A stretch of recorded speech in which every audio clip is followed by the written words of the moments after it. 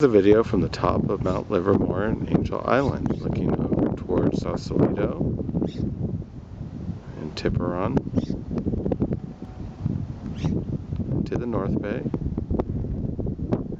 looking out over Albany and Richmond and over towards Berkeley.